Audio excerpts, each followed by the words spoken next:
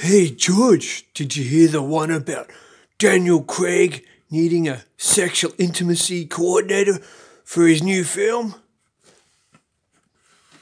Are you serious, Rog? You can't be serious. I am serious. He needs a doctor to be on set to tell him all about sexual intimacies. With Ana de Armas, the chick that just got her titties out in a big hardcore sex scene in the last film she did. Yeah, that Ana de Armas. I've shagged her too. I tell you what, I gave her a bit of coordination.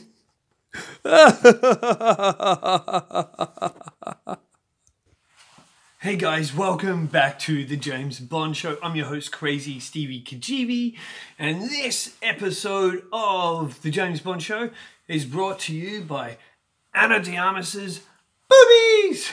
Okay, guys, so can you believe this?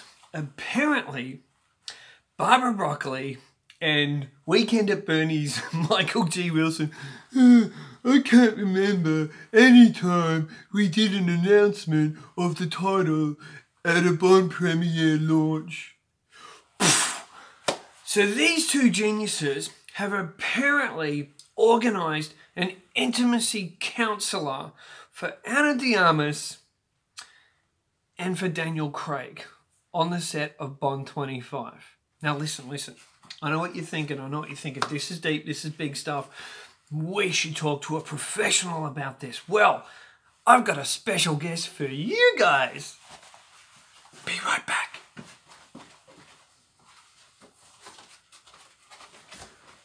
Hello, I'm Daniel Craig's sexual intimacy coordinator.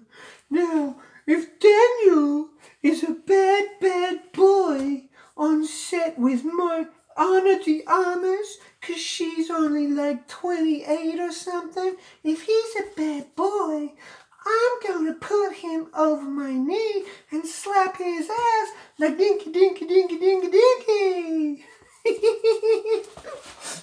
oh, this is crazy. I can't believe this, guys. Okay, now, there could be part of this that is a big pile of horse dung because, as we know, since the beginning of filming of Bond 25, they've been filming in Jamaica and they pretty much filmed there three weeks straight until Daniel Craig stuffed his ankle up. And just on that, don't believe the hype, the film's not being put off. Minor little surgery on the ankle, he'll be back straight away. And they are currently filming at Pinewood. They're just filming other scenes with Daniel not involved. He'll be back shortly. So, no stress about that. So, the intimacy coordinator thing, I think there's a bit of, like I said before, a bit of bullcrap to it. Because he's filming action scenes. Now, Daniel Craig apparently hurts his ankle when he's filming an action scene. So, a report that came out, which I'm going to put in the link description, not that these numbnuts deserve any attention that are writing this horse crap, but it said that, and the intimacy coordinator was on the set with Ana and Daniel Craig. Her, her scenes are in Europe. From what we know, Ana de Armas is not filming any scenes in Jamaica. And why is he doing rumpy, pumpy, pumpy with her when he's filming action scenes and he's got Madeleine Swann there? But then this brings us to a little bit of a theory as well. What is the role of Madeleine Swann, who me and my mates like to call Dr. Dull? What is Dr. Dull doing in this film? Because you know, with Phoebe Waller Feminist Bridge, with that big old dyker, dyker, dyker, you know there's no way she's going to have Madeleine Swann killed off. Now, she was apparently coming in just to do a, you know, comedy kind of touch up, make the film funnier, flow more, whatnot. Uh, uh, uh, uh, uh, uh. It looks like Phoebe Waller Feminazi is doing a full righty, righty, righty. She even said, I want to slip some feminism into the script if I could get away with it. You're not funny, Phoebe Waller. We don't want your feminism in James Bond.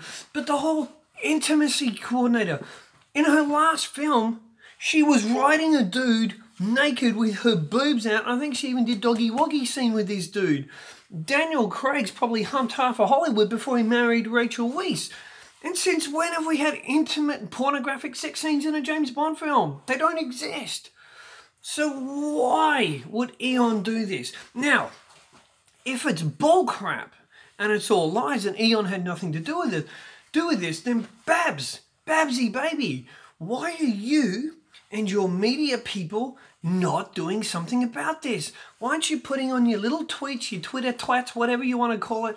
Why don't you put on such and such is not true, no intimacy court, boom, squash it. And make these reporters look stupid. But you don't comment on anything. Eon, uh, oh, I dream of making big dollars from making my big SJW Bond film. Come on, guys, listen. Go woke, go broke. Tell me this is all garbage. Don't let this happen. We don't want SJW Bond. And who is Phoebe Waller-Bridge? I mean, there in in Fleabag, she's got a freaking hamster and she's got some deal with the hamster. I mean, you, you know who needs a guidance counselor?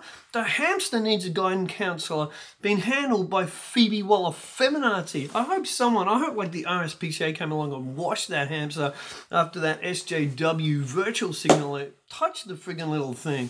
Far out. Animal cruelty, anyone? Mm. Okay, guys, this has been Crazy Kajeevie. That's my thoughts on the intimacy coordinator thing. I just think it's absolute nuts. It's bonkers. And Eon had got to grow a set. Michael, weekend at Bernie's Michael there because Bab's got a hand up his butt and controlling him because he's really dead. We all know he's dead. It's just the drugs and things keeping the heart kind of fluttering along. But he's got to have some balls and Bab's got to have some balls, not literally, metaphorically, and do something about this and say, this is Bond, get stuffed. And when she's asked about should a woman be, you know, could a woman be James Bond, don't just say, oh, well, I think, and for the time being, no, look these morons in the eye and say, listen, this is our franchise. Ian Fleming's a male. If you can't handle that, get lost get lost and then remind them about Salt, the spy movie at the box office. Remind them about female Ghostbusters. And how's female Doctor Who going? Not too good, is it? No. So you SJW clowns, leave Bond alone. Guys, if you've liked this video and you want to be part of a James Bond channel, you know, and within the community of other channels like people like Anomaly Inc., Nathan at Anomaly Inc., and also Midnight's Edge, the, the work that those guys are doing, these people, and also Jeremy Geeks and Gamers, um, John Talks, John Talks Star Wars, World Class Bullshitters, these people and myself have the balls and HaphazardStuff and um, Dutch Bond fan are having the balls to finally speak up and say something about this virtual signaling, this crowbarring of gender politics, of racism, and calling anyone a bigot or whatnot just because they don't want a black Bond or they don't want the lead of Star Wars to be a female with all these Jedi powers, yet she hasn't earned them. We're just common sense people. We're not racist, we're not bigots, we're common sense people that are defending the franchises we love. And Midnight's Edge have just done a great one, and I'm going to put the link in below for them. And they talked also about Phoebe Waller-Bridge, um, you know, coming, sorry, sorry, sorry, Phoebe Waller Feminazi coming in and trying to mess up with James Bond. And I really, being a lifelong James Bond fanatic and one of the biggest Bond collectors in the world, and the host of this show, and real James Bond fans would love on Facebook, I want to thank those guys at Midnight Edge um, for making such a video and defending Bond. It takes bravery, it takes guts, but it's the right thing to do. Guys, please hit subscribe and tap the bell if you want notifications for the next video. I'll be flinging out a whole bunch over the next week. Um, and please share this with your friends. And I love reading your comments, so please comments. And guys, you know what? I actually sincerely thank you for watching my videos. I'm only new. I've nearly got 100 subs. I only started a couple weeks ago, but word of the page is getting out, and I really thank you guys for taking the time with being here with me. And subscribe and come along on the journey with me when we defend James Bond. And remember, we do it with no fears, limits, or substitutes. And until next time, keep on bonding.